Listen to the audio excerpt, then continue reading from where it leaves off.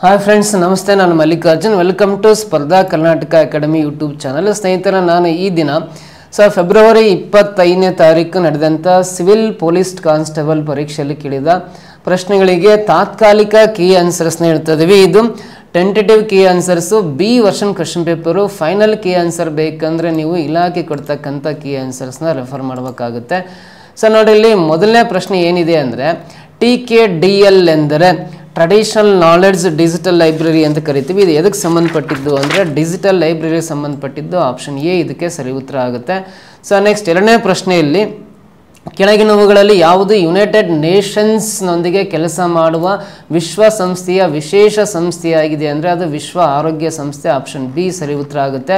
Next ಮೂರನೇದು, ಕಂಪನಿಗಳ ಕಾಯಿದೆಯಿಂದ ನಿಯಂತ್ರಿಸಲ್ಪಡುವ ಸಿ ಎಸ್ ಆರ್ ಪರಿಕಲ್ಪನೆಯು ಯಾವುದಕ್ಕೆ ಸಂಬಂಧಿಸಿದೆ ಅಂದರೆ ಇದು ಸಾಮಾಜಿಕ ಜವಾಬ್ದಾರಿ ಸೋಷಿಯಲ್ ರೆಸ್ಪಾನ್ಸಿಬಿಲಿಟಿಗೆ ಸಂಬಂಧಪಟ್ಟಿದೆ, ಅದು ಸರಿ ಉತ್ತರ ಆಗುತ್ತೆ. ಸೊ ನೆಕ್ಸ್ಟ್ ನಾಲ್ಕನೇ ಪ್ರಶ್ನೆ B S second B S third B S fourth ಮತ್ತು ಬಿ ಎಸ್ ಸಿಕ್ಸ್ತ್ ಇವುಗಳು. ಸೊ ಎದರ ಮಾನದಂಡಗಳು ಅಂದರೆ ಈ ಹೊರಸೂಸುವಿಕೆಯ ಮಾನದಂಡಗಳು ಎಮಿಷನ್ ಸ್ಟ್ಯಾಂಡರ್ಡ್ಸ್ ಅಂತ ಕರಿತೀವಿ ಆಪ್ಷನ್ ಫೋರ್ತ್ ಇದಕ್ಕೆ ಸರಿ ಉತ್ತರ ಆಗುತ್ತೆ. ನೆಕ್ಸ್ಟು ಯಾವ ರಾಜ್ಯವು ತನ್ನ ಗಡಿಯನ್ನು ಗರಿಷ್ಠ ಅತಿ ಹೆಚ್ಚು ರಾಜ್ಯಗಳೊಂದಿಗೆ ಹಂಚಿಕೊಂಡಿದೆ ಅಂದರೆ ಅದು ಉತ್ತರ ಪ್ರದೇಶ. ಉತ್ತರ ಪ್ರದೇಶ ಟೋಟಲಿ ಒಂಬತ್ತು ರಾಜ್ಯಗಳೊಂದಿಗೆ ಗಡಿಯನ್ನು ಹಂಚಿಕೊಂಡಿದೆ, ಅದು ಸರಿ ಉತ್ತರ ಆಗುತ್ತೆ. ಸೊ ನೆಕ್ಸ್ಟ್ ಪ್ರಶ್ನೆ ಬರೋಣ. ತಪ್ಪಾಗಿರುವುದನ್ನು ಆರಿಸಿ ಅಂತಿದೆ. ಪಟ್ಟದಕಲ್ಲು ಚಾಲುಕ್ಯ ವಂಶ ಅಂತ ಕೊಟ್ಟಿದ್ದಾನೆ. ಬೇಲೂರು ಮತ್ತು ಹಳೆಬೀಡು ಹೊಯ್ಸಳ ವಂಶ ಅಂತ ಕೊಟ್ಟಿದ್ದಾನೆ. ಸೊ ನೆಕ್ಸ್ಟ್ ಇದಾದಮೇಲೆ ಕಲ್ಲಿನ ರಥ ವಿಜಯನಗರ ಸಾಮ್ರಾಜ್ಯ ಕೊಟ್ಟಿದ್ದಾನೆ. ಇವುಗಳಲ್ಲಿ ಯಾವುದು ಅಲ್ಲ ಅಂತ ಕೊಟ್ಟಿದ್ದಾನೆ. ಇವೆಲ್ಲವೂ ಕರೆಕ್ಟ್ ಮ್ಯಾಚ್ ಇದಾವೆ. ಸೊ ಇಲ್ಲಿ ಯಾವ ತಪ್ಪಿಲ್ಲ. ಹಾಗಾಗಿ ಆಪ್ಷನ್ ಡಿ ಇವುಗಳಲ್ಲಿ ಯಾವುದು ಅಲ್ಲ ಅಂತ ಇದೆಯಲ್ಲ, ಇದು ರೈಟ್ ಆನ್ಸರ್ ಆಗುತ್ತೆ.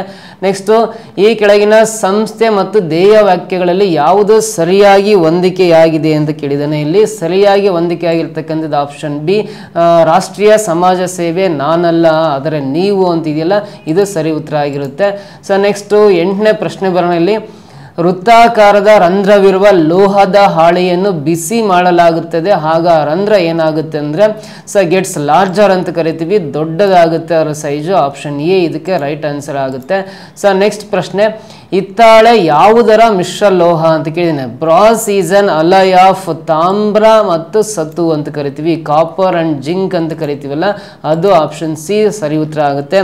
ಸೊ ವೈರಸ್ ಎನ್ನುವುದು ನೋಡ್ರಿ ವೈರಸ್ ಎನ್ನುವುದು ಏನಂತ ಕರಿತೀವಿ ಅಂದರೆ ನ್ಯೂಕ್ಲಿಯಕ್ ಆಮ್ಲ ಮತ್ತು ಪ್ರೋಟೀನ್ ಅಂತ ಕರಿತೀವಿ. ನ್ಯೂಕ್ಲಿಯಕ್ ಆಮ್ಲ ಮತ್ತು ಪ್ರೋಟೀನ್ ಅಂತ ಹೇಳ್ತೀವಿ. ಆಪ್ಷನ್ ಬಿ ಇದಕ್ಕೆ ಸರಿ ಉತ್ತರ ಆಗುತ್ತೆ. ಸೊ ನೆಕ್ಸ್ಟ್ ಕ್ವಶನ್ ಹನ್ನೊಂದನೇ ಪ್ರಶ್ನೆ. ಕೆಳಗಿನ ಯಾವ ವಿದ್ಯುತ್ ಕಾಂತೀಯ ತರಂಗವು ಉದ್ದವಾದ ತರಂಗಾಂತರವನ್ನು ಹೊಂದಿದೆ ಅಂದರೆ ಇದಕ್ಕೆ. ಸೊ ಇದಕ್ಕೆ ಇನ್ಫ್ರಾರೆಡ್ ರೈಸ್ ಅಂತ ಕರಿತೀವಿ. ಆಪ್ಷನ್ ಎ ಅತಿಗೆಂಪು ಕಿರಣಗಳು ಅಂತಿದೆಯಲ್ಲ ಇದು ಸರಿ ಉತ್ತರ ಆಗುತ್ತೆ. ಸೊ ನೆಕ್ಸ್ಟ್ ಹನ್ನೆರಡನೇ ಪ್ರಶ್ನೆ ಬರೋಣ. ಇಲ್ಲಿ ಏನಿದೆ ಅಂದರೆ ಟಾರ್ ಎಂದರೇನು ಅಂತ ಕೇಳಿದ್ದಾನೆ ಟಾರ್ ಎಂದರೇನು ಅಂದರೆ ಡಾರ್ಕ್ ನೆಟ್ ಅನ್ನು ಪ್ರವೇಶಿಸಲು ವೆಬ್ ಬ್ರೌಸರ್ ಅಂತ ಕರಿತೀವಿ. ಟಾರ್ ಅಂದರೆ ಸೊ ಆಪ್ಷನ್ ಸಿ ಇದಕ್ಕೆ ಸರಿ ಉತ್ತರ ಆಗಿರುತ್ತೆ ಆಪ್ಷನ್ ಸಿ. ನೆಕ್ಸ್ಟ್ ಹದಿಮೂರನೇ ಪ್ರಶ್ನೆ. ಎಂ ಎಸ್ ವಿಂಡೋಸ್ನಲ್ಲಿ ಫೈಲ್ ಅಥವಾ ಫೋಲ್ಡರನ್ನು ಮರು ಪರ್ ಹೆಸರಿಸಲು ಬಳಸುವ ಫಂಕ್ಷನ್ ಕೀ ಯಾವುದು ಅಂದರೆ ಅದು ಎಫ್ ಟು ಆಗಿರುತ್ತೆ ಆಪ್ಷನ್ ಬಿ ಕರೆಕ್ಟ್ ಆನ್ಸರ್ ಅಂತ ಕರಿತೀವಿ. ಸೊ ನೆಕ್ಸ್ಟ್ ಬೇಕಿಂಗ್ ಸೋಡಾ ಎಂದರೇನು ಅಂತ ಕೇಳಿದಾನೆ ಬೇಕಿಂಗ್ ಸೋಡಾನ ರಾಸಾಯನಿಕ ಹೆಸರು ಸೋಡಿಯಂ ಬೈಕಾರ್ಬನೇಟ್ ಅಂತ ಕರಿತೀವಿ. ಆಪ್ಷನ್ ಬಿ ಅದಕ್ಕೆ ರೈಟ್ ಆನ್ಸರ್ ಅಂತ ಕರಿತೀವಿ. ನೆಕ್ಸ್ಟು ತಲಾಸೆಂಬಿ ತಲಾಸೆಮಿಯಾ ಎಂಬ ಅನುವಂಶಿಕ ಕಾಯಿಲೆ ಯಾವುದರ ಮೇಲೆ ಪರಿಣಾಮ ಬೀರುತ್ತೆ ಅಂದರೆ ಇದು ಬ್ಲಡ್ ಮೇಲೆ ಎಫೆಕ್ಟ್ ಆಗುತ್ತೆ. ಆಪ್ಷನ್ ಎ ಇದಕ್ಕೆ ಸರಿ ಉತ್ತರ ಆಗಿರುತ್ತೆ. ಓಕೆನಾ ಸೊ ನೆಕ್ಸ್ಟ್ ಪ್ರಶ್ನೆ ಬರೋಣ. ಹದಿನಾರನೇ ಪ್ರಶ್ನೆ ಏನಿದೆ ಅಂದರೆ ಚಂದ್ರಯಾನ ಮೂರು ಇದಕ್ಕೆ ಸಂಬಂಧಿಸಿದಂತೆ ಲ್ಯಾಂಡರ್ ಮತ್ತು ರೋವರ್ನ ಹೆಸರುಗಳನ್ನು ಕ್ರಮವಾಗಿ ಹೇಳ್ತಾ ಹೋದರೆ, ಸೊ ಲ್ಯಾಂಡರ್ನ ಹೆಸರು ವಿಕ್ರಮ್ ಅಂತ, ರೋವರ್ನ ಹೆಸರು ಪ್ರಜ್ಞಾನ್ ಅಂತ ಕರಿತೀವಿ, ಚಂದ್ರಯಾನ ತ್ರೀಗೆ ಸಂಬಂಧಪಟ್ಟಂತೆ. ಸೊ ಆಪ್ಷನ್ ಎ ಇದಕ್ಕೆ ಸರಿ ಉತ್ತರ ಆಗಿರುತ್ತೆ. ನೆಕ್ಸ್ಟ್ ಸೆವೆಂಟೀನ್ತ್ ಕ್ವಶನ್ ಬರೋಣ. ಸರ್ ಸಿ ವಿ ರಾಮನ್ ರವರು ನೊಬೆಲ್ ಪ್ರಶಸ್ತಿಯನ್ನು ಯಾವುದಕ್ಕೆ ಪಡೆದರು ಅಂದರೆ ಇವರು, so work on scattering of light ಬೆಳಕಿನ ಹರಡುವಿಕೆಯ ಮೇಲಿನ ಕೆಲಸಕ್ಕಾಗಿ ಇವರು ನೊಬೆಲ್ ಪ್ರಶಸ್ತಿಯನ್ನು ಪಡೀತಾರೆ ಆಪ್ಷನ್ ಬಿ ಇದಕ್ಕೆ ರೈಟ್ ಆನ್ಸರ್ ಆಗುತ್ತೆ. ಸೊ ನೆಕ್ಸ್ಟ್ ಹದಿನೆಂಟನೇ ಪ್ರಶ್ನೆ ಬರೋಣ. ಬೆಳಕು ಹೊರಸೂಸುವ ಡಯೋಡ್ ಎಲ್ ಇ ಡಿಯನ್ನು ಯಾವುದನ್ನು ಪರಿವರ್ತಿಸುತ್ತದೆ ಅಂತ ಕ್ವಶನ್ ಕೇಳಿದನ್ನೇ ಸೊ ಎಲ್ ಇ ಡಿ ಯಾವುದನ್ನು ಪರಿವರ್ತನೆ ಮಾಡುತ್ತೆ ಅಂದರೆ ವಿದ್ಯುತ್ ಶಕ್ತಿಯನ್ನು ಬೆಳಕಿನ ಶಕ್ತಿಯನ್ನಾಗಿ ಕನ್ವರ್ಟ್ ಮಾಡುತ್ತೆ. So electrical energy into light energy ಅಂತ ಕರಿತೀವಿ. ಆಪ್ಷನ್ ಬಿ ಇದಕ್ಕೆ ಸರಿಯಾದ ಉತ್ತರ ಆಗಿರುತ್ತೆ. ಓಕೆನಾ ನೆಕ್ಸ್ಟ್ ನೈನ್ಟೀನ್ತ್ ಕ್ವಶನ್ ಬರೋಣ. ಏನಿದೆ ಅಂದರೆ ಮಾರ್ಸ್ ಗ್ರಹದ ಮೇಲೆ ನಾಸಾ ನಿರ್ವಹಿಸುತ್ತಿರುವ ಸ್ವಾಯುತ್ತ ಹೆಲಿಕಾಪ್ಟರ್ನ ಹೆಸರು ಏನು ಅಂತ ಕೇಳಿದ್ದೇನೆ. ಅದನ್ನು ನಾವು ಇಂಜೆನಿಟಿ ಅಂತ ಕರಿತೀವಿ. ಆಪ್ಷನ್ ಬಿ ಇದಕ್ಕೆ ಸರಿ ಉತ್ತರ ಆಗಿರುತ್ತೆ. ಸೊ ಓಕೆನಾ ನೆಕ್ಸ್ಟ್ ಇಪ್ಪತ್ತನೇ ಪ್ರಶ್ನೆ ಬರೋಣ. ಟ್ವೆಂಟಿಯತ್ ಕ್ವಶನ್ ಏನಿದೆ ಅಂದರೆ ಕೆಳಗಿನಗಳಲ್ಲಿ ಯಾವ ರಾಜ್ಯ ವಿಧಾನ ಪರಿಷತ್ ಹೊಂದಿಲ್ಲ ಅಂತ ಕೇಳಿದ್ದಾನೆ ಯಾವ ರಾಜ್ಯ ಸ ಈ ಲೆಜಿಸ್ಲೇಟಿವ್ ಕೌನ್ಸಿಲನ್ನು ಹೊಂದಿಲ್ಲ ಅಂತ ಕೇಳಿದರೆ. ಅದು ಯಾವುದಂದ್ರೆ ಮಧ್ಯಪ್ರದೇಶ ಆಪ್ಷನ್ ಡಿ. ಇದಕ್ಕೆ ಸರಿ ಉತ್ತರ ಆಗಿರುತ್ತೆ. ಸೊ ನೆಕ್ಸ್ಟ್ ಪ್ರಶ್ನೆ ಮಂತ್ರಿಮಂಡಲದ ಸದಸ್ಯರು ಸಾಮೂಹಿಕವಾಗಿ ಯಾವುದಕ್ಕೆ ಜವಾಬ್ದಾರರಾಗಿರುತ್ತಾರೆ ಅಂತ ಕೇಳಿದರೆ ಯಾವುದಕ್ಕೆ ಜವಾಬ್ದಾರರಾಗಿರ್ತಾರೆ ಅಂದರೆ ಹೌಸ್ ಆಫ್ ದ ಪೀಪಲ್ ಅಂತ ಕರಿತೀವಿ ಆಪ್ಷನ್ ಬಿ ಇದಕ್ಕೆ ಸರಿ ಉತ್ತರ ಆಗಿರುತ್ತೆ. ನೆಕ್ಸ್ಟು ಟ್ವೆಂಟಿ ಸೆಕೆಂಡ್ ಕ್ವಶನ್ ಬರೋಣ. ಸಂವಿಧಾನ ಸಭೆಯ ಅಧ್ಯಕ್ಷರು ಯಾರಾಗಿದ್ದರು ಅಂತ ಕೇಳಿದರೆ ಸಂವಿಧಾನ ಸಭೆಯ ಅಧ್ಯಕ್ಷರು ಯಾರಾಗಿದ್ದರು ಅಂದರೆ ಡಾಕ್ಟರ್ ರಾಜೇಂದ್ರ ಪ್ರಸಾದ್ ಅಂತ ಹೇಳ್ತೀವಿ. ಆಪ್ಷನ್ ಬಿ ಇದಕ್ಕೆ ಸರಿ ಉತ್ತರ ಆಗುತ್ತೆ. ಓಕೆನಾ ಸೊ ನೆಕ್ಸ್ಟ್ ಕ್ವಶನ್ನು ಭೂಮಿಗೆ ಹೋಲಿಸಿದರೆ ಚಂದ್ರನ ಮೇಲಿನ ಭೌತಿಕ ವಸ್ತುವಿನ ದ್ರವ್ಯರಾಶಿ ಏನಾಗುತ್ತದೆ ಅಂತ ಕೇಳಿದ್ದಾನೆ. ಸೊ ಆ ದ್ರವ್ಯರಾಶಿ ಏನು ಚೇಂಜಸ್ ಆಗಲ್ಲ, ಹಾಗೆಯೇ ಇರುತ್ತೆ ರಿಮೈನ್ಸ್ ಸೇಮ್ ಅಂತ ಹೇಳ್ತೀವಿ. ಆಪ್ಷನ್ ಬಿ ಇದಕ್ಕೆ ಸರಿ ಉತ್ತರ ಅಂತ ಹೇಳ್ತೀವಿ. ನೆಕ್ಸ್ಟ್ ಕ್ವಶನ್ನು ಸುಪ್ರೀಂ ಕೋರ್ಟ್ ಅನ್ನು ನಿಯಂತ್ರಿಸುವ ಅಧ್ಯಕ್ಷರ ಅಧಿಕಾರವು ಯಾವ ವಿಧಿಯ ಅಡಿಯಲ್ಲಿದೆ ಅಂತ ಕೇಳಿದ್ದಾನೆ. ಯಾವ ವಿಧಿಯ ಅಡಿಯಲ್ಲಿ ಸುಪ್ರೀಂ ಕೋರ್ಟ್ ಅನ್ನು ನಿಯಂತ್ರಿಸುವ ಅಧ್ಯಕ್ಷರ ಅಧಿಕಾರ ಇರುತ್ತೆ ಅಂದರೆ ಅನ್ನ ಒನ್ ಆರ್ಟಿಕಲ್ ಅಂತ ಕರಿತೀವಿ. ನೂರ ನಲವತ್ತ್ಮೂರನೇ ವಿಧಿ ಆಪ್ಷನ್ ಬಿ ಇದಕ್ಕೆ ಸರಿ ಉತ್ತರ ಆಗಿರುತ್ತೆ. ನೆಕ್ಸ್ಟ್ ಇಪ್ಪತ್ತೈದನೇ ಪ್ರಶ್ನೆ ಏನಿದೆ ಅಂತ ನೋಡ್ತಾ ಬನ್ನಿ. ಭಾರತದಲ್ಲಿ ರಾಜ್ಯದ ಗಡಿಗಳನ್ನು ಬದಲಾಯಿಸುವ ಅಧಿಕಾರವು ಯಾರ ಹತ್ತಿರ ಇದೆ ಅಂದರೆ ರಾಜ್ಯದ ನೋಡ್ರಿ ಗಡಿಗಳನ್ನು ಬದಲಾಯಿಸುವ ಹಕ್ಕು ಯಾರ ಹತ್ರ ಇದೆ ಅಂದರೆ ಸಂಸತ್ ಹತ್ರ ಇದೆ ಆಪ್ಷನ್ ಬಿ. ಇದಕ್ಕೆ ರೈಟ್ ಆನ್ಸರ್ ಅಂತ ಕರಿತೀವಿ ಪಾರ್ಲಿಮೆಂಟ್ ಅಂತ ಹೇಳ್ತೀವಿ. ನೆಕ್ಸ್ಟ್ ಭಾರತೀಯ ಸ್ವಾತಂತ್ರ್ಯ ಕಾಯಿದೆಯು ಬ್ರಿಟಿಷ್ ದೊರೆಗಳಿಂದ ರಾಜ್ಯ ಸಮ್ಮತಿಯನ್ನು ಯಾವಾಗ ಪಡೆಯಿತು ಅಂತ ಕ್ವಶನ್ ಕೇಳಿದ್ದೇನೆ. ಸೊ ಯಾವಾಗ ಪಡೀತು ಅಂದರೆ ಜುಲೈ ನೈನ್ಟೀನ್ ಫಾರ್ಟಿ ಸೆವೆನ್ ಅಂತ ಹೇಳ್ತೀವಿ ಆಪ್ಷನ್ ಎ. ಇದಕ್ಕೆ ಸರಿ ಉತ್ತರ ಆಗಿರುತ್ತೆ. ನೆಕ್ಸ್ಟ್ ಇಪ್ಪತ್ತೇಳನೇ ಪ್ರಶ್ನೆ ಏನಂದರೆ ರಾಜ್ಯ ನೀತಿಯ ನಿರ್ದೇಶನ ತತ್ವಗಳನ್ನು ಈ ಕೆಳಗಿನ ಯಾವ ಲೇಖನಗಳಲ್ಲಿ ಸೇರಿಸಲಾಗಿದೆ ಅಂದರೆ ಅದು. ಸೊ ಮೂವತ್ತಾರಿಂದ ಐವತ್ತೊಂದು ಇದೆಯಲ್ಲ ಆಪ್ಷನ್ ಸಿ ಇದು ರೈಟ್ ಆನ್ಸರ್ ಆಗಿರುತ್ತೆ. ನೆಕ್ಸ್ಟ್ ಟ್ವೆಂಟಿ ಏತ್ ಕ್ವಶನ್ ಬರೋಣ. ಇಪ್ಪತ್ತೆಂಟನೇದು ಏನಿದೆ ಅಂದರೆ ಮತದಾನ ಹಕ್ಕು ಚಲಾಯಿಸುವ ವಯಸ್ಸನ್ನು ಇಪ್ಪತ್ತೊಂದು ವರ್ಷದಿಂದ ಹದಿನೆಂಟು ವರ್ಷಕ್ಕೆ ಯಾವ ತಿದ್ದುಪಡಿಯಿಂದ ಇಳಿಸಲಾಯಿತು ಅಂದರೆ ಅದು ಸಂವಿಧಾನದ ಅರವತ್ತೊಂದನೇ ತಿದ್ದುಪಡಿಯಿಂದ ಅದನ್ನ ಕಡಿಮೆ ಮಾಡಲಾಗುತ್ತೆ ಅಂತ ಹೇಳ್ಬೋದು. So next twenty ninth question ಬರೋಣ. ಸಂವಿಧಾನ ಸಭೆಯಲ್ಲಿ ವಸ್ತುನಿಷ್ಠ ನಿರ್ಣಯವನ್ನು ಯಾರು ಮಂಡಿಸಿದರು ಅಂದರೆ so option C Jawaharlal Nehru ಅಂತ ಹೇಳ್ತೀವಿ. ಆಪ್ಷನ್ ಸಿ ಸರಿ ಉತ್ತರ ಆಗುತ್ತೆ. ನೆಕ್ಸ್ಟ್ ಮೂವತ್ತನೇ ಪ್ರಶ್ನೆಯಲ್ಲಿ ಸಂವಿಧಾನದ ಮುನ್ನೂರ ಎಪ್ಪತ್ತೊಂದನೇ ಏನೇ ವಿಧಿಯ ಯಾವ ರಾಜ್ಯಕ್ಕೆ ವಿಶೇಷ ಅವಕಾಶವನ್ನು ಒದಗಿಸುತ್ತದೆ ಅಂದರೆ ಇದು ನಾಗಾಲ್ಯಾಂಡ್ ರಾಜ್ಯಕ್ಕೆ ಸ್ಪೆಷಲ್ ಪ್ರಾವಿಸನ್ನ ಕೊಡ್ತಾ ಇದೆ. ಆಪ್ಷನ್ ಬಿ ಇದಕ್ಕೆ ಸರಿ ಉತ್ತರ ಅಂತ ಹೇಳ್ಬೋದು. ನೆಕ್ಸ್ಟ್ ಪ್ರಶ್ನೆ, ಗೌಪ್ಯತೆಯ ಹಕ್ಕು ಯಾರ ಲೇಖನ ಲೇಖನದಲ್ಲಿದೆ ಅಂತ right to privacy is contained in which article ಅಂತ ಕೇಳಿದರೆ ಯಾವ ಲೇಖನದಲ್ಲಿದೆ ಅಂದರೆ ಲೇಖನ ಇಪ್ಪತ್ತೊಂದು ಆರ್ಟಿಕಲ್ ಟ್ವೆಂಟಿ ಫಸ್ಟಲ್ಲಿದೆ ಆಪ್ಷನ್ ಸಿ ಇದಕ್ಕೆ ಸರಿ ಉತ್ತರ ಆಗುತ್ತೆ. ನೆಕ್ಸ್ಟ್ ಮೂವತ್ತೆರಡನೇ ಪ್ರಶ್ನೆ ಬರೋಣ. ಸರ್ವೋಚ್ಚ ನ್ಯಾಯಾಲಯದ ಮೂಲ ಅಧಿಕಾರವು ಯಾವ ವ್ಯಾಪ್ತಿಯಲ್ಲಿ ಒಳಗೊಂಡಿದೆ ಅಂದರೆ, ಯಾವ ವ್ಯಾಪ್ತಿಯಲ್ಲಿ ಸರ್ವೋಚ್ಚ ನ್ಯಾಯಾಲಯದ ಮೂಲ ಅಧಿಕಾರ ಒಳಗೊಂಡಿದೆ ಅಂದರೆ, ನೂರ ನೂರ ನೋಡಿ ಒನ್ ತರ್ಟಿ ಒನ್ ಇದೆ ಒನ್ ಟ್ವೆಂಟಿ ಒನ್ ಇದೆ. So next one thirty two ಇದೆ ಒನ್ ತರ್ಟಿ ಸಿಕ್ಸ್ ಇದೆ. ಇದಕ್ಕೆ ಸರಿ ಉತ್ತರ, ವಿಧಿ one thirty one option A ಸರಿ ಉತ್ತರ ಆಗುತ್ತೆ. ನೆಕ್ಸ್ಟ್ ಭಾರತೀಯ ಸ್ವಾತಂತ್ರ್ಯ ಹೋರಾಟದ ಸಮಯದಲ್ಲಿ ಕೆಳಗಿನವರಲ್ಲಿ ಯಾರು ಫ್ರೀ ಇಂಡಿಯನ್ ಲಿನಜ್ ಎಂಬ ಸೈನ್ಯವನ್ನು ಬೆಳೆಸಿದರು ಅಂತ ಕೇಳಿದ್ದಾರೆ. ಸೊ ಇದಕ್ಕೆ ಸರಿ ಉತ್ತರ ಯಾವುದು ಅಂತ ಹೇಳ್ಬೋದು ಅಂದರೆ ಸುಭಾಷ್ ಚಂದ್ರ ಬೋಸ್ ಅವರನ್ನು ಆ ಫ್ರೀ ಇಂಡಿಯನ್ ಲೀಸನ್ ಅಂದ ಸೈನ್ಯವನ್ನು ಬೆಳೆಸಿದ್ದಾರೆ. ಆಪ್ಷನ್ ಸಿ ಸರಿ ಉತ್ತರ ಆಗುತ್ತೆ. ನೆಕ್ಸ್ಟ್ ಮೂವತ್ನಾಲ್ಕನೇ ಪ್ರಶ್ನೆ, ಸಂವಿಧಾನದ ಯಾವ ಪರಿಚ್ಛೇದವನ್ನು ಗ್ರಾಮ ಸಭೆಗೆ ಒದಗಿಸಲಾಗಿದೆ ಅಂದರೆ, ಸೊ ಇನ್ನೂರ ನಲವತ್ತ್ಮೂರು ಎ ಅನ್ನು ಗ್ರಾಮ ಸಭೆಗೆ ಒದಗಿಸಲಾಗಿದೆ. ಆಪ್ಷನ್ ಎ ಇದಕ್ಕೆ ಸರಿ ಉತ್ತರ ಆಗಿರುತ್ತೆ. ನೆಕ್ಸ್ಟ್ ಮೂವತ್ತೈದನೇ ಪ್ರಶ್ನೆ, ಸರ್ದಾರ್ ಪಟೇಲ್ ಅವರ ಅಧ್ಯಕ್ಷತೆಯಲ್ಲಿ ಸಾವಿರದ ಒಂಬೈನೂರ ಮೂವತ್ತೊಂದರಲ್ಲಿ ಭಾರತೀಯ ರಾಷ್ಟ್ರೀಯ ಕಾಂಗ್ರೆಸ್ನ ಕರಾಚಿ ಅಧಿವೇಶನಕ್ಕಾಗಿ ಮೂಲಭೂತ ಹಕ್ಕುಗಳು ಮತ್ತು ಆರ್ಥಿಕ ಕಾರ್ಯಕ್ರಮದ ಕುರಿತು ನಿರ್ಣಯವನ್ನು ಯಾರು ರಚಿಸಿದರು ಅಂತ ಪ್ರಶ್ನೆ ಕೇಳಿದ್ದೇನೆ. ಇಲ್ಲಿ ರಚನೆ ಮಾಡಿದರೆ ಯಾರಂದರೆ, ಪಂಡಿತ್ ಜವಾಹರ್ಲಾಲ್ ನೆಹರು ಅವರು. ಆಪ್ಷನ್ ಬಿ ಇದಕ್ಕೆ ರೈಟ್ ಆನ್ಸರ್ ಆಗುತ್ತೆ ನೆಕ್ಸ್ಟ್ ಮೂವತ್ತೇಳನೇ ಪ್ರಶ್ನೆ.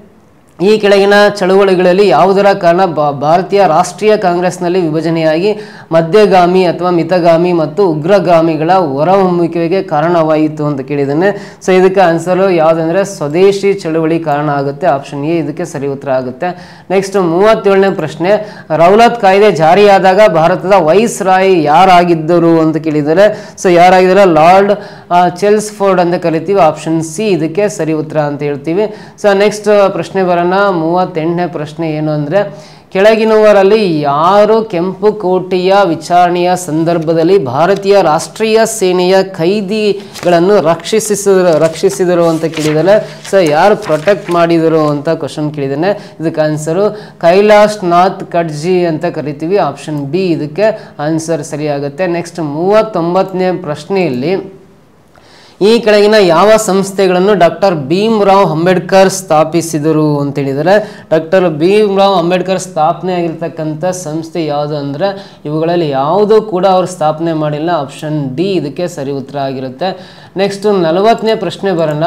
ಭಾರತೀಯ ಸ್ವಾತಂತ್ರ್ಯ ಹೋರಾಟದ ಉಲ್ಲೇಖದಲ್ಲಿ ಉಷಾ ಮೆಹ್ತಾ ಯಾವುದಕ್ಕೆ ಪ್ರಸಿದ್ಧರಾಗಿದ್ದಾರೆ ಅಂದರೆ ಇವರು ಪ್ರಸಿದ್ಧರಾಗಿದ್ದು ಕ್ವಿಟ್ ಇಂಡಿಯಾ ಚಳುವಳಿಯ ಹಿನ್ನೆಲೆಯಲ್ಲಿ ಕಾಂಗ್ರೆಸ್ನ ರಹಸ್ಯವನ್ನು ರೇಡಿಯೋವನ್ನು ನಡೆಸುತ್ತಿದ್ದರು. ಆ ಕಾಂಗ್ರೆಸ್ನ ರಹಸ್ಯ ರೇಡಿಯೋವನ್ನು ನಡೆಸುತ್ತಿದ್ದರು. ಆಪ್ಷನ್ ಎ ಇದಕ್ಕೆ ಸರಿ ಉತ್ತರ ಆಗಿರುತ್ತೆ. ಓಕೆನಾ ನೆಕ್ಸ್ಟ್ ನಲವತ್ತೊಂದನೇ ಪ್ರಶ್ನೆ ಬರೋಣ. ಏನಿದೆ? ಫಾರ್ಟಿ ಫಸ್ಟ್ ಕ್ವಶನ್ ಅಂದರೆ ಕೆಳಗಿನವರಲ್ಲಿ ಯಾರನ್ನು ಕರ್ನಾಟಕದ ಖಾದಿ ಭಗೀರಥ ಎಂದು ಕರೆಯುತ್ತಾರೆ ಅಂದರೆ, ಸ. ಗಂಗಾಧರ್ ರಾವ್ ಬಾಲಕೃಷ್ಣ ದೇಶಪಾಂಡೆಯವ್ರನ್ನ ನಾವು ಖಾದಿ ಭಗೀರಥ ಅಂತ ಕರಿತೀವಿ. ಆಪ್ಷನ್ ಡಿ ಇದಕ್ಕೆ ಸರಿ ಉತ್ತರ ಆಗುತ್ತೆ.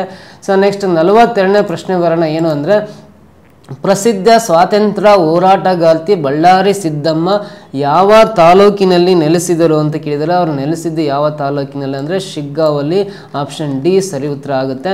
ನೆಕ್ಸ್ಟ್ ನಲವತ್ತ್ಮೂರನೇ ಪ್ರಶ್ನೆ ನೋಡೋಣ. ಅಕ್ಟೋಬರ್ ಸಾವಿರದ ಎಂಟುನೂರ ಇಪ್ಪತ್ನಾಲ್ಕರಲ್ಲಿ ಕಿತ್ತೂರಾಣಿ ಚೆನ್ನಮ್ಮಳ ಪಡೆಗಳು ಯಾವ ಬ್ರಿಟಿಷ್ ಕಲೆಕ್ಟರ್ನನ್ನು ಕೊಂದರು ಅಂದರೆ ಅದು ಸೆಂಟ್ ಜಾನ್ ಟ್ಯಾಕ್ರೆ ಅಂತ ಕರಿತೀವಿ ಆಪ್ಷನ್ ಎ ಸರಿ ಉತ್ತರ ಆಗುತ್ತೆ.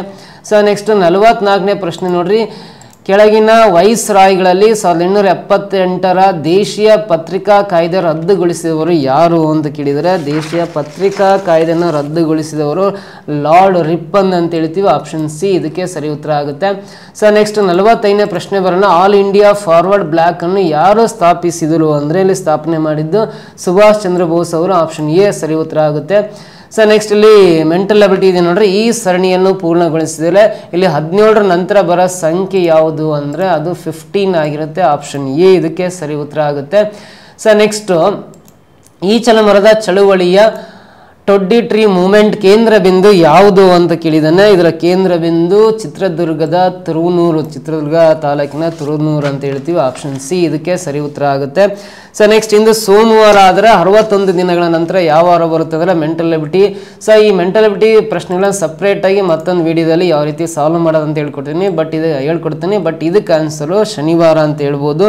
ಸೊ ನೆಕ್ಸ್ಟ್ ಒಬ್ಬ ಹಣ್ಣು ಮಾರಾಟಗಾರನ ಹತ್ತಿರ ಕೆಲವು ಸೇಬುಗಳಿಗೆ ಗಳಿವೆ. ಅವನು ನಲವತ್ತು ಪರ್ಸೆಂಟ್ ಸೇಬುಗಳನ್ನು ಮಾರುತ್ತಾನೆ ಅವನ ಹತ್ತಿರ ಇನ್ನೂ ನಾಲ್ಕುನೂರ ಇಪ್ಪತ್ತು ಸೇಬುಗಳು ಉಳಿದಿವೆ. ಹಾಗಾದರೆ ಮೂಲತಃ ಅವನೇ ಅವನ ಹತ್ತಿರ ಎಷ್ಟು ಸೇಬುಗಳಿದ್ದವು ಅಂತ ಪ್ರಶ್ನೆ ಕೇಳಿದ್ದಾನೆ. ಇದಕ್ಕೆ ಆನ್ಸರ್ ಸರಿಯಾದ ಉತ್ತರ ಏಳ್ನೂರು ಆಗುತ್ತೆ. ಆಪ್ಷನ್ ಡಿ ಸರಿ ಉತ್ತರ ಆಗುತ್ತೆ.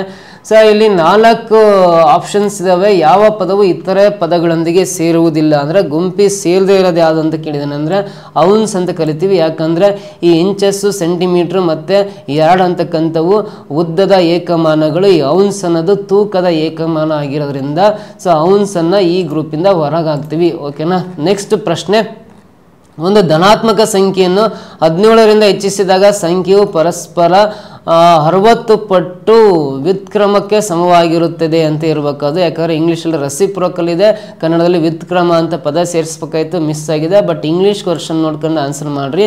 ಸೊ ಆನ್ಸರ್ ಅದಕ್ಕೆ ಸರಿಯಾದ ಉತ್ತರ, ಮೂರು ಆಪ್ಷನ್ ಎ ಸರಿ ಉತ್ತರ ಆಗಿರುತ್ತೆ. ಸೊ ನೆಕ್ಸ್ಟ್ ಮುಂದಿನ ಪ್ರಶ್ನೆ ಬರೋಣ ಇಲ್ಲಿ. ಪಿ ಮತ್ತು ಕ್ಯೂನ ಸರಾಸರಿ ಮಾಸಿಕ ಆದಾಯ ಐದು ಸಾವಿರದ ಐವತ್ತು, ಕ್ಯೂ ಮತ್ತು ಆರ್ನ ಸರಾಸರಿ ಮಾದಿ, ಮಾಸಿಕ ಆದಾಯ ಆರು ಸಾವಿರದ ಎರಡುನೂರ ಐವತ್ತು, ಪಿ ಮತ್ತು ಆರ್ನ ಸರಾಸರಿ ಮಾಸಿಕ ಆದಾಯ ಐದು ಸಾವಿರದ ಎರಡುನೂರು. ಹಾಗಾದ್ರೆ ಪಿನ ಮಾಸಿಕ ಆದಾಯ ಎಷ್ಟು ಅಂದರೆ ಇದಕ್ಕೆ ಸರಿಯಾದ ಉತ್ತರ ಆಪ್ಷನ್ ಬಿ ಫೋರ್ ತೌಸಂಡ್ ಬರ್ತಾ ಇದೆ. ನೆಕ್ಸ್ಟ್ ಐವತ್ ಮೂರನೇ ಪ್ರಶ್ನೆ ಬರೀ ಏನಿದೆ ಅಂದ್ರೆ, ಏಳು ಪುರುಷರು ಮತ್ತು ಆರು ಮಹಿಳೆಯರ ಗುಂಪಿನಿಂದ ಒಂದು ಸಮಿತಿಯನ್ನು ರಚಿಸಲು ಐದು ವ್ಯಕ್ತಿಗಳನ್ನು ಆಯ್ಕೆ ಮಾಡಬೇಕು.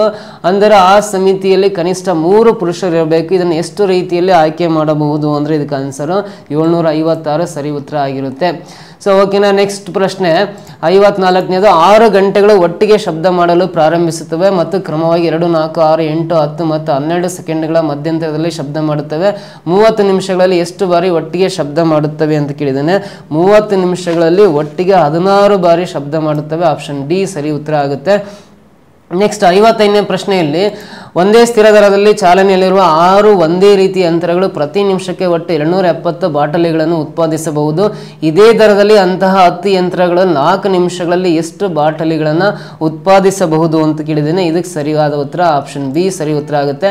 ಇವನ್ನ ಲೆಕ್ಕ ಬಿಡಿಸೋದು ಯಾವ ಥರ ಅಂತ ನೆಕ್ಸ್ಟ್ ವಿಡಿಯೋದಲ್ಲಿ ಈ ಮೆಂಟಲ್ ಎಬಿಲಿಟಿ ಸಪ್ರೇಟ್ ಆಗಿ ಪ್ರಶ್ನೆಗಳನ್ನು ಸಾಲ್ವ್ ಮಾಡೋ ವಿಧಾನ ಹೇಳ್ಕೊಡ್ತೀನಿ. ನೆಕ್ಸ್ಟ್ ಚೌಕದ ಬದಿಯನ್ನು ಅಳೆಯುವಾಗ ಎರಡು ಪರ್ಸೆಂಟ್ನಷ್ಟು ಹೆಚ್ಚಿನ ದೋಷವನ್ನು ಮಾಡಲಾಗಿದೆ. ಹಾಗಾದರೆ ಚದರದ ಲೆಕ್ಕಾಚಾರದಲ್ಲಿ ಪ್ರದೇಶದಲ್ಲಿನ ದೋಷದ ಶೇಕಡವಾರು ಎಷ್ಟು ಅಂದರೆ ಇದಕ್ಕೆ answer option D four point zero four percent ಆಗಿರುತ್ತೆ. ನೆಕ್ಸ್ಟ್ ಐವತ್ತೇಳನೇ ಪ್ರಶ್ನೆ ಅರ್ಥಶಾಸ್ತ್ರದಲ್ಲಿ ಜಿ ಡಿ ಪಿ ಎಂದರೆ ಏನು ಅಂತ ಕೇಳಿದ್ದಾನೆ. ಜಿ ಡಿ ಪಿ ಎಂದರಲ್ಲಿ ಗ್ರಾಸ್ ಡೊಮೆಸ್ಟಿಕ್ ಪ್ರಾಡಕ್ಟ್ ಅಂತ ಕರಿತೀವಿ. ಗ್ರಾಸ್ ಡೊಮೆಸ್ಟಿಕ್ ಪ್ರಾಡಕ್ಟ್ ಅಂದರೆ ಆಪ್ಷನ್ ಬಿ ಇದಕ್ಕೆ ಸರಿಯಾದ ಉತ್ತರ ಆಗಿರುತ್ತೆ. ಗ್ರಾಸ್ ಡೊಮೆಸ್ಟಿಕ್ ಪ್ರಾಡಕ್ಟ್ ಅಂತ. ನೆಕ್ಸ್ಟ್ ಐವತ್ತೆಂಟನೇ ಪ್ರಶ್ನೆ, ಎಷ್ಟು ಮಹಾರತ್ನ ಪಿ ಎಸ್ ಯುಗಳಿವೆ ಅಂದರೆ ಇಲ್ಲಿ ಟೋಟಲಿ ಎಷ್ಟಿದಾವೆ ಅಂದರೆ ಹದಿಮೂರು ಇದ್ದಾವೆ ಆಪ್ಷನ್ ಸಿ ಇದಕ್ಕೆ ಸರಿ ಉತ್ತರ ಆಗುತ್ತೆ. ಸೊ ನೆಕ್ಸ್ಟ್ ಐವತ್ತೊಂಬತ್ತನೇದು ಸೈಬರ್ ಅಪರಾಧಗಳನ್ನು ವರದಿ ಮಾಡಲು ಈ ಕೆಳಗಿನ ಯಾವ ಸಹಾಯವಾಣಿಯನ್ನು ರಚಿಸಲಾಗಿದೆ ಅಂದರೆ ಸೊ ಒನ್ ನೈನ್ ತ್ರೀ ಜೀರೋಗೆ ಕರೆ ಮಾಡಬೇಕು. ಸೈಬರ್ ಕ್ರೈಮ್ ರಿಪೋರ್ಟ್ ಮಾಡಬೇಕಂದ್ರೆ ನಾವು ನೆಕ್ಸ್ಟ್ ಅರವತ್ತನೇ ಪ್ರಶ್ನೆ ನೋಡ್ರಿ. ಎ ಮತ್ತು ಬಿ ಎರಡು ಪರೀಕ್ಷಾ ಕೊಠಡಿಗಳು ನೂರು ವಿದ್ಯಾರ್ಥಿಗಳನ್ನು ಏನಿಂದ ಬಿಗೆ ಕಳಿಸಿದರೆ ಪ್ರತಿ ಕೊಠಡಿಯಲ್ಲಿನ ವಿದ್ಯಾರ್ಥಿಗಳ ಸಂಖ್ಯೆ ಒಂದೇ ಆಗಿರುತ್ತದೆ. ಇಪ್ಪತ್ತು ವಿದ್ಯಾರ್ಥಿಗಳನ್ನು ಬಿಯಿಂದ ಹೇಗೆ ಕಳಿಸಿದರೆ ಎನಲ್ಲಿರುವ ವಿದ್ಯಾರ್ಥಿಗಳ ಸಂಖ್ಯೆ ಬಿನಲ್ಲಿರುವ ವಿದ್ಯಾರ್ಥಿಗಳ ಸಂಖ್ಯೆಗಿಂತ ದ್ವಿಗುಣವಾಗುತ್ತದೆ. ಹಾಗಾದರೆ ಎನಲ್ಲಿರುವ ವಿದ್ಯಾರ್ಥಿಗಳ ಸಂಖ್ಯೆ ಎಷ್ಟು ಅಂದರೆ ಇದು ಆಪ್ಷನ್ ಸಿ ಸರಿ ಉತ್ತರ ಅಂತ ಕರಿತೀವಿ. ಸೊ ಓಕೆನಾ ನೆಕ್ಸ್ಟ್ ಕ್ವಶನ್ ಬರೋಣ. ಇದಾದಮೇಲೆ ಪುಸ್ತಕವಾಗಿ ನಂತರ ಪ್ರಕಟವಾದ ಪ್ರಸಿದ್ಧ ಭಾಷಣ ಹನಿ ಇಲೇಷನ್ ಆಫ್ ಕಾಸ್ಟ್ ಬರೆದವರು ಯಾರು ಅಂತ ಕೇಳಿದ್ದೇನೆ. ಸೊ ಇದಕ್ಕೆ ಆನ್ಸರ್ ಯಾವುದು ಅಂದರೆ ಹನಿ ಇಲೇಷನ್ ಆಫ್ ಕಾಸ್ಟ್ ಅಂದರೆ ಡಾಕ್ಟರ್ ಬಿ ಆರ್ ಅಂಬೇಡ್ಕರ್ ಬರೀತಾರೆ. ಇದನ್ನ ಆಪ್ಷನ್ ಬಿ ಸರಿ ಉತ್ತರ ಆಗುತ್ತೆ. ಸೊ ಕೆಳಗಿನ ಯಾವ ಪ್ರಾಧಿಕಾರವು ದೇಶದಲ್ಲಿ ವಿಮಾ ಕ್ಷೇತ್ರವನ್ನು ನಿಯಂತ್ರಿಸುತ್ತದೆ ಅಂದರೆ I R D A I ನಿಯಂತ್ರಣ ಮಾಡುತ್ತೆ. ಇದಕ್ಕೆ answer I R D A I ಅಂತ ಹೇಳ್ತೀವಿ. ಆಪ್ಷನ್ ಬಿ ಸರಿ ಉತ್ತರ ಆಗುತ್ತೆ. ಸೊ ನೆಕ್ಸ್ಟ್ ಮಾಹಿತಿ ಹಕ್ಕು ಕಾಯ್ದೆ ಯಾವ ವರ್ಷದಲ್ಲಿ ಜಾರಿಗೆ ಬಂತು? ಮಾಹಿತಿ ಹಕ್ಕು ಕಾಯ್ದೆ ಜಾರಿ ಬಂದದ್ದು ಎರಡು ಸಾವಿರದ ಐದರಲ್ಲಿ ಆಪ್ಷನ್ ಸಿ ಉತ್ತರ ಆಗುತ್ತೆ.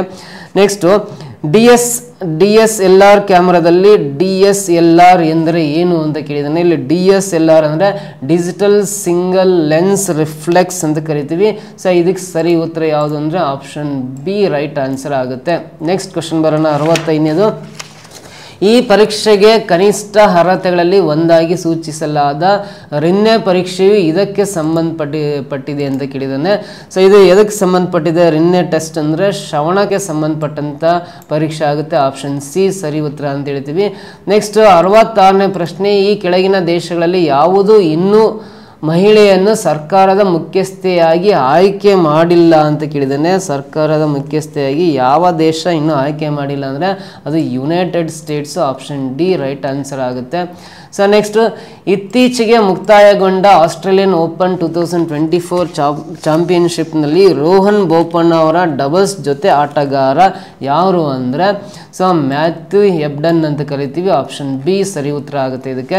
ಸೊ ನೆಕ್ಸ್ಟ್ ಅರವತ್ತೆಂಟನೇ ಪ್ರಶ್ನೆ. ಕೆಳಗಿನವುಗಳಲ್ಲಿ ಯಾವುದು ಮೂಲಭೂತ ಹಕ್ಕು ಅಂತ ಕೇಳಿದ್ದೇನೆ. ಇದರಲ್ಲಿ ಮೂಲಭೂತ ಹಕ್ಕು ಯಾವುದು ಅಂತ ಕೇಳಿದ್ದೇನೆ. ಸೊ ಸ್ವಾತಂತ್ರ್ಯದ ಹಕ್ಕು ಹೌದು, ಶಿಕ್ಷಣದ ಹಕ್ಕು ಹೌದು ಬದುಕು ಹಕ್ಕು, ಇವೆಲ್ಲವೂ ಕೂಡ ಮೂಲಭೂತ ಹಕ್ಕುಗಳೇ. ಆಪ್ಷನ್ ಡಿ ಇದಕ್ಕೆ ಸರಿ ಉತ್ತರ ಆಗಿರುತ್ತೆ. Option D right answer. ಅರವತ್ತೊಂಬತ್ತನೇ ಪ್ರಶ್ನೆ ಬರೋಣ. ವರ್ತಮಾನ ಭಾರತದಲ್ಲಿ ಇರುವ ಕೇಂದ್ರಾಡಳಿತ ಪ್ರದೇಶಗಳ ಸಂಖ್ಯೆ. ಸೊ ನಮ್ಮ ಪ್ರೆಸೆಂಟ್ ಇಂಡಿಯಾದಲ್ಲಿರ್ತಕ್ಕಂಥ ಯೂನಿಯನ್ ಟೆರಿಟರೀಸ್ ಎಷ್ಟಿದ್ದಾವೆ ಅಂದರೆ ಸೊ ಈ ಪ್ರೆಸೆಂಟ್ ಇರೋದು ಎಂಟಿದ್ದಾವೆ ಆಪ್ಷನ್ ಸಿ ಸರಿ ಉತ್ತರ ಆಗುತ್ತೆ. ನೆಕ್ಸ್ಟ್ ಸೆವೆಂಟಿಯತ್ ಕ್ವಶನ್ ಬರೋಣ, ಎಪ್ಪತ್ತನೇದು. ಭಾರತದ ಸಂವಿಧಾನದ ಪೀಠಿಕೆಯಲ್ಲಿ ಭಾರತೀಯ ಸಂವಿಧಾನವು ತನ್ನ ಎಲ್ಲ ನಾಗರಿಕರಿಗೆ ಯಾವ ಸ್ವಾತಂತ್ರ್ಯವನ್ನು ಪಡೆಯಲು ಶ್ರಮಿಸುತ್ತದೆ ಅಂದರೆ ಸೊ ಇಲ್ಲಿ ಅಭಿವ್ಯಕ್ತಿ ಸ್ವಾತಂತ್ರ್ಯನೂ ಹೌದು, ನಂಬಿಕೆ ಸ್ವಾತಂತ್ರ್ಯನೂ ಹೌದು, ನಂಬಿಕೆ ಮತ್ತು ಆರಾಧನೆ ಸ್ವಾತಂತ್ರ್ಯ ಹೌದು, ಇವುಗಳಲ್ಲಿ ಎಲ್ಲವೂ ಅಂತಿದಿಲ್ಲ. ಇದು ಸರಿ ಉತ್ತರ ಆಗಿರುತ್ತೆ ಓಕೆನಾ ಇದಕ್ಕೆ. ಸೊ ನೆಕ್ಸ್ಟ್ ಪ್ರಶ್ನೆ ಬರೋಣ. ಇತ್ತೀಚೆಗೆ ಸುದ್ದಿಯಲ್ಲಿರುವ ಜೆ ಎನ್ ಒನ್ ರೂಪಾಂತರವು ಯಾವುದಕ್ಕೆ ಸಂಬಂಧಿಸಿದೆ ಅಂದರೆ ಜೆ ಎನ್ ರೂಪಾಂತರವು ನೋಡ್ರಿ, ನವಜಾತ ಶಿಶುಗಳಲ್ಲಿ ಕಾಮಾಲೆ, ಮಕ್ಕಳಲ್ಲಿ ಸಂಧಿವಾತ ಹೌದು, ಜಪಾನೀಸ್ ಎನ್ಸೆಪಾಲಿಟಿಸ್ ಹೌದು, ಇವುಗಳಲ್ಲಿ ಎಲ್ಲವೂ ಯಾವುದೂ ಅಲ್ಲ ಅಂತಿದಿಲ್ಲ, ಇದು ಸರಿ ಉತ್ತರ ಆಗುತ್ತೆ. ನೋಡಿ, ಇದು ಜೆ ಎನ್ ಒನ್ ಯಾವುದಕ್ಕೂ ಸಂಬಂಧಪಟ್ಟಂಥ ರೂಪಾಂತರ ಅಲ್ಲ, ಇದು ಕೋವಿಡ್ಗೆ ಸಂಬಂಧಪಟ್ಟಂಥ ರೂಪಾಂತರ ಆಗಿರೋದ್ರಿಂದ ಅದಕ್ಕೆ ಸೊ ಯಾವುದೂ ಅಲ್ಲ ಅಂತಿದೆಯಲ್ಲ, ಅದನ್ನು ರೈಟ್ ಆನ್ಸರ್ ಅಂತ ಹೇಳ್ತೀವಿ. ನೆಕ್ಸ್ಟ್ ಎಪ್ಪತ್ತೆರಡನೇದು ಮೆಂಟಲ್ ಎಬಿಲಿಟಿ ಲೆಕ್ಕ ಇದೆ. ಒಂದು ನಗರದಲ್ಲಿ ಪೊಲೀಸ್ ಮತ್ತು ನಾಗರಿಕರ ಅನುಪಾತವು ತ್ರೀ ಇಷ್ಟು ಲೆವೆನ್ ಆಗಿದ್ದು, ಅರವತ್ತಾರು ಪೊಲೀಸರು ಇದ್ದರೆ ಒಟ್ಟು ನಗರದಲ್ಲಿ ಒಟ್ಟು ಎಷ್ಟು ನಾಗರಿಕರಿದ್ದಾರೆ ಅಂದರೆ ಆಪ್ಷನ್ ಬಿ ಸರಿ ಉತ್ತರ ಆಗುತ್ತೆ. ಟೂ ಫಾರ್ಟಿ ಟು ಅದಕ್ಕೆ ರೈಟ್ ಆನ್ಸರ್ ಅಂತ ಹೇಳ್ತೀವಿ. ನೆಕ್ಸ್ಟ್ ಬ್ಯಾಕ್ಟೀರಿಯಾದ ಕೋಶವು ಪ್ರತಿ ನಿಮಿಷಕ್ಕೆ ದ್ವಿಗುಣಗೊಳ್ಳುತ್ತದೆ ಮತ್ತು ಕಪ್ಪನ್ನು ತುಂಬಲು ಎಪ್ಪತ್ತೆರಡು ನಿಮಿಷಗಳನ್ನು ತೆಗೆದುಕೊಂಡರೆ ಕಪ್ನ ಕಾಲು ಭಾಗ ತುಂಬಲು ಎಷ್ಟು ಸಮಯ ಬೇಕಾಗುತ್ತೆ ಅಂದರೆ ಕಾಲು ಭಾಗ ತುಂಬಲಿಕ್ಕೆ ಆನ್ಸರು ಎಪ್ಪತ್ತು ನಿಮಿಷ ಬೇಕಾಗುತ್ತೆ, ಆಪ್ಷನ್ ಡಿ ಸರಿ ಉತ್ತರ ಆಗುತ್ತೆ. ನೆಕ್ಸ್ಟ್ ಎಪ್ಪತ್ನಾಲ್ಕನೇ ನೋಡ್ರಿ, ಭಾರತದ ಉಪರಾಷ್ಟ್ರಪತಿ ಯಾರು ಅಂತ ಕೇಳಿದರೆ ಈಗಿರ್ತಕ್ಕಂಥ ಭಾರತದ ಉಪರಾಷ್ಟ್ರಪತಿ ಯಾರು ಅಂದರೆ ಜಗನ್ದೀಪ್ ಧನ್ಕಡ್ ಅಂತ ಹೇಳ್ತೀವಿ, ಆಪ್ಷನ್ ಎ ಸರಿ ಉತ್ತರ ಆಗಿರುತ್ತೆ. ನೆಕ್ಸ್ಟ್ ಸೆವೆಂಟಿ ಫಿಫ್ತ್ ಕ್ವಶನ್ ಬರೋಣ. ಸೊ ನೋಡ್ರಿ, ಸರಿ ಉತ್ತರ ಆರಿಸಿ ರಮೇಶ್ ಕಲಬುರಗಿಯಿಂದ ಹೈದರಾಬಾದ್ ಕಡೆಗೆ ಹದಿನೈದು ಕಿಲೋಮೀಟರ್ ನೇರ ಮಾರ್ಗದಲ್ಲಿ ಮ್ಯಾರಥಾನ್ ಓಡಲು ಪ್ರಾರಂಭಿಸುತ್ತಾನೆ. ನಂತರ ಅವನು ಎಡಕ್ಕೆ ತಿರುಗಿ ಇನ್ನೂ ಹತ್ತು ಕಿಲೋಮೀಟರ್ ಓಡುತ್ತಾನೆ. ನಂತರ ಅವನು ಬಲಕ್ಕೆ ತಿರುಗಿ ಐದು ಕಿಲೋಮೀಟರ್ ಓಡುತ್ತಾನೆ. ಈಗ ಅವನು ಯಾವ ದಿಕ್ಕಿಗೆ ಮುಖ ಮಾಡಿದ್ದಾನೆ ಅಂದರೆ ಅವನು ಪೂರ್ವ ದಿಕ್ಕಿಗೆ ಮುಖ ಮಾಡಿದ್ದಾನೆ. ಆಪ್ಷನ್ ಎ, ಇದಕ್ಕೆ ರೈಟ್ ಆನ್ಸರ್ ಆಗುತ್ತೆ. ನೆಕ್ಸ್ಟು ಕೆಳಗಿನ ನಗರಗಳಲ್ಲಿ ಯಾವುದು ವಿಮಾನ ನಿಲ್ದಾಣವನ್ನು ಹೊಂದಿಲ್ಲ. ಯಾವ ಸಿಟಿಯಲ್ಲಿ ಸೊ ಇಲ್ಲಿ ಏರ್ಪೋರ್ಟ್ ಇಲ್ಲ ಅಂತ ಕೇಳಿದ್ದೇನೆ. ಯಾರ ಸಿಟಿಯಲ್ಲಿ ಏರ್ಪೋರ್ಟ್ ಇಲ್ಲ ಅಂದರೆ ಸದ್ಯಕ್ಕೆ ಹಾಸನದಲ್ಲಿ ಇಲ್ಲ. ಬೆಳಗಾವಿಯಲ್ಲಿದೆ, ಶಿವಮೊಗ್ಗದಲ್ಲಿದೆ, ಕಲಬುರಗಿಯಲ್ಲಿದೆ, ಬಟ್ ಹಾಸನದಲ್ಲಿ ಏರ್ಪೋರ್ಟ್ ಇಲ್ಲ ಅಂತ ಹೇಳ್ಬೋದು. ನೆಕ್ಸ್ಟ್ ಒಂದು ರೈಲು ಗಂಟೆಗೆ ಅರವತ್ತು ಕಿಲೋಮೀಟರ್ ವೇಗದಲ್ಲಿ ಚಲಿಸುತ್ತದೆ. ಅದು ಎರಡು ಗಂಟೆ ನಲವತ್ತೈದು ನಿಮಿಷಗಳಲ್ಲಿ ಎಷ್ಟು ದೂರ ಪ್ರಯಾಣಿಸುತ್ತದೆ ಅಂದರೆ ಒಂದು ಕಿಲೋಮೀಟರ್ ದೂರ ಪ್ರಯಾಣಿಸುತ್ತದೆ. ಆಪ್ಷನ್ ಸಿ ಸರಿ ಉತ್ತರ ಆಗುತ್ತೆ. ಸೊ ನೆಕ್ಸ್ಟು ತೈಲ ಸಂಸ್ಕರಣಾಗಾರವು ಈ ಕೆಳಗಿನ ಯಾವ ನಗರದಲ್ಲಿದೆ ಅಂತ ಕೇಳಿದ್ದೇನೆ. ತೈಲ ಸಂಸ್ಕರಣಾಗಾರ ಯಾವ ನಗರದಲ್ಲಿದೆ ಅಂದರೆ ಇದು ಸದ್ಯಕ್ಕೆ ನಮ್ಮ ಕರ್ನಾಟಕದಲ್ಲಿ ಮಂಗಳೂರಲ್ಲಿದೆ. ಆಪ್ಷನ್ ಬಿ ಇದಕ್ಕೆ ಸರಿ ಉತ್ತರ ಆಗುತ್ತೆ. So next seventy ninth question ಧೋಬಿಗಳು, ಕ್ಷೌರಿಕರು ಮತ್ತು ಚಮ್ಮಾರರು ಭಾರತದ ಆರ್ಥಿಕತೆ ಯಾವ ವಲಯದ ಅಡಿಯಲ್ಲಿ ಬರುತ್ತಾರೆ ಅಂದ್ರೆ ಅವರು. ಸೊ ಟರ್ಷಿಯರಿ ಲೆವೆಲ್ ಅಂತ ಕರಿತೀವಿ. ತೃತೀಯ ವಲಯದ ಅಡಿಯಲ್ಲಿ ಬರ್ತಿದ್ದಾರೆ ಆಪ್ಷನ್ ಸಿ ಸರಿ ಉತ್ತರ ಆಗುತ್ತೆ. ನೆಕ್ಸ್ಟ್ ಜೌಗು ಪ್ರದೇಶಗಳು ಮತ್ತು ಅವುಗಳ ಇರುವ ಜಿಲ್ಲೆಯನ್ನು ಪರಿಗಣಿಸಿ ಸರಿಯಾದದನ್ನು ಆಯ್ಕೆ ಮಾಡಿ ಅಂತಿದೆ. ಬಟ್ ಇಲ್ಲಿ ಸರಿಯಾದದಲ್ಲ, ಸರಿ ಆಗದೆ ಇರೋದು ಯಾವುದು ಅಂತ, ಯಾಕಂದ್ರೆ ಇಂಗ್ಲೀಷಲ್ಲಿ ಇನ್ಕರೆಕ್ಟ್ ಅಂತ ಇದೆ, ಕನ್ನಡದಲ್ಲಿ ಮಿಸ್ ಆಗಿದೆ. ಹಾಗಾಗಿ ತಪ್ಪಾಗಿರುವುದನ್ನು ಆಯ್ಕೆ ಮಾಡಬೇಕಾಗಿತ್ತು ನಾವು. ಸೊ ರಾಂಗ್ ಯಾವುದಂದ್ರೆ ಅಗನಾಶಿನಿ ಗದಗ್ ಅಂತ ಇದೆಯಲ್ಲ. ಸೊ ಇದು ರಾಂಗ್ ಆಗಿರ್ತಕ್ಕಂಥ ಸ್ಟೇಟ್ಮೆಂಟ್ ಆಗಿರುತ್ತೆ. ಆಪ್ಷನ್ ಸಿ ರೈಟ್ ಆನ್ಸರ್ ಅಂತ ಕರಿತೀವಿ. ಕನ್ನಡದಲ್ಲಿ ತಪ್ಪಿದ್ರೆ ಆ ಕ್ವಶನ್ನ ಇಂಗ್ಲೀಷಲ್ಲಿ ಓದ್ಕೊಂಡು ಕರೆಕ್ಷನ್ ಮಾಡ್ಕೊಂಡು ಆನ್ಸರ್ ಮಾಡಬೇಕಾಗುತ್ತೆ. ಸೊ ಎಂಬತ್ತೊಂದನೇ ಪ್ರಶ್ನೆ ಬರಲಿ. ಕೆಳಗಿನ ಯಾವ ಏಜೆನ್ಸಿಯು ರಸ್ತೆ ನಿರ್ಮಾಣದಲ್ಲಿ ಭಾಗಿಯಾಗಿಲ್ಲ ಅಂದರೆ, ಯಾವ ಏಜೆನ್ಸಿ ಭಾಗಿಯಾಗಿಲ್ಲ ಅಂದರೆ, ರಾಜ್ಯ ಪಿ ಇದೆ, ಭಾರತೀಯ ರಾಷ್ಟ್ರೀಯ ಹೆದ್ದಾರಿ ಪ್ರಾಧಿಕಾರ ಇದೆ, ಗಡಿ ರಸ್ತೆಗಳ ಸಂಸ್ಥೆ ಇದೆ. ಸೊ ಇವುಗಳಲ್ಲಿ ಯಾವುದು ಅಲ್ಲ? ಆನ್ಸರ್ ಇದಕ್ಕೆ ಆಪ್ಷನ್ ಡಿ ರೈಟ್ ಆನ್ಸರ್ ಅಂತ ಹೇಳ್ತೀವಿ. ನೆಕ್ಸ್ಟ್ ಎಂಬತ್ತೆರಡನೇ ಪ್ರಶ್ನೆ ಬರೋಣ ಕೆಳಗಿನವುಗಳಲ್ಲಿ ಯಾವುದು ಕರ್ನಾಟಕದಲ್ಲಿ ರಾಷ್ಟ್ರೀಯ ಜಲಮಾರ್ಗವಲ್ಲ? ಕರ್ನಾಟಕದ ರಾಷ್ಟ್ರೀಯ ಜಲಮಾರ್ಗ ಇದರಲ್ಲಿ ಯಾವ್ದು ಆಗಿಲ್ಲ ಅಂದರೆ ಘಟಪ್ರಭಾ, ಶರಾವತಿ, ಉದ್ಯಾವರ ಇದೆ. ಯಾವುದಲ್ಲ ಅಂದರೆ ಹೇಮಾವತಿ ಆಗುತ್ತೆ. ಆಪ್ಷನ್ ಡಿ ರೈಟ್ ಆನ್ಸರ್ ಇದಕ್ಕೆ. ನೆಕ್ಸ್ಟ್ ಆಂಗ್ ಸೂಕಿ ಯಾವ ದೇಶದ ಮಾಜಿ ನಾಯಕಿ ಅಂತ ಕೇಳಿದರೆ ಆಂಗ್ ಸೂಕಿ ಅಂದರೆ ಯಾವ ದೇಶದ ಮಾಜಿ ನಾಯಕಿ ಅಂದರೆ ಮಯನ್ಮಾರ್ ದೇಶದ ಮಾಜಿ ನಾಯಕಿ ಅವರು? ಆಪ್ಷನ್ ಬಿ ಸರಿ ಉತ್ತರ ಆಗುತ್ತೆ. ಸೊ ನೆಕ್ಸ್ಟ್ ಕೆಳಗಿನವುಗಳಲ್ಲಿ ಯಾವುದು ಸಮಭಾಜಕಕ್ಕೆ ಹತ್ತಿರದಲ್ಲಿದೆ ಅಂತ ಕೇಳಿದ್ದೇನೆ, ಸಮಭಾಜ ವೃತ್ತಕ್ಕೆ ಹತ್ತಿರದಲ್ಲಿರ್ತಕ್ಕಂಥ ದೇಶ ಯಾವುದಂದ್ರೆ ಇಲ್ಲಿ ಮಾಲ್ಡೀವ್ಸ್ ಆಗಿರುತ್ತೆ ಆಪ್ಷನ್ ಬಿ ರೈಟ್ ಆನ್ಸರ್ ಅಂತ ಕರಿತೀವಿ. ಸೊ ವಿಮಾನಗಳು ಸಾಮಾನ್ಯವಾಗಿ ಯಾವುದರಲ್ಲಿ ಪ್ರಯಾಣಿಸುತ್ತವೆ ಅಂತ ಕೇಳಿದ್ದೇನೆ. ವಿಮಾನ ಸಾಮಾನ್ಯವಾಗಿ ಪ್ರಯಾಣ ಮಾಡ್ತಕ್ಕಂಥದ್ದು ಯಾವುದಂದ್ರೆ ಟ್ರೋಪೋಸ್ಪಿಯರ್ ಅಂತ ಕರಿತೀವಿ. Troposphere option A correct answer ಆಗುತ್ತೆ. ಜೆಟ್ ವಿಮಾನ ಅಂತ ಕೇಳಿದ್ರೆ ಅದು ಸ್ಟ್ರಾಟೋಸ್ಪಿಯರ್ ಆಗ್ತಾ ಇತ್ತು. ಆಪ್ಷನ್ ಎ ಇದಕ್ಕೆ ಸರಿ ಉತ್ತರ ಅಂತ ಹೇಳ್ತೀವಿ. Option A is the right answer ಅಂತ. ನೆಕ್ಸ್ಟು ಡ್ಯಾಶ್ ಸರೋವರವು ಭಾರತದ ಅತಿ ದೊಡ್ಡ ಉಪ್ಪು ನೀರಿನ ಸರೋವರವಾಗಿದೆ. ಅದು ಯಾವುದಂದ್ರೆ ಸೊ, ಚಿಲ್ಕಾ ಸರೋವರ ಅಂತ ಕರಿತೀವಿ. ಆಪ್ಷನ್ ಸಿ ಸರಿ ಉತ್ತರ ಆಗುತ್ತೆ.